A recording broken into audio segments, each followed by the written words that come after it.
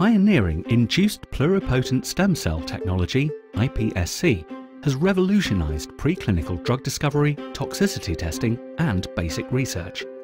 iPSC technology is, literally, human biology in a dish, from which tissue cells such as those of heart, liver and nervous system are produced. Animal models, primary human cells and transformed cells are current preclinical toxicity testing paradigms. However, as these models are often non-representative of human biology, they present limitations.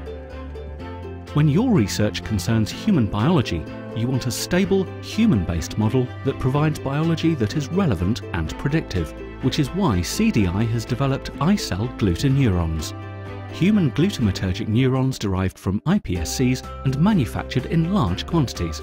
iCell glutaneurons enable a shift from the traditional experimental paradigm of less desired animal models to relevant human models. In the dish, glutaneurons connect with each other to form a spontaneously active neural network. This spontaneous activity can be measured on a multi-electrode array, or MEA, where each electrode detects the activity of the overlying neurons and displays it in a raster plot in real time. Neuronal electrical activity is synchronous when groups of tick marks line up across all of the electrodes. Synchrony is a key feature for understanding how drugs affect neuronal activity. In a dish, iCell glutaneurons display synchronous activity and are thus a useful model for testing drug response on neuronal activity. Using iCell glutaneurons this way may cause changes in neuronal activity, such as increased synchrony, decreased synchrony, cessation of activity, or have no effect at all.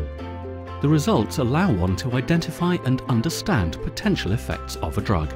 iCell glutaneurons are human biology in a dish. They are efficient, robust, and relevant.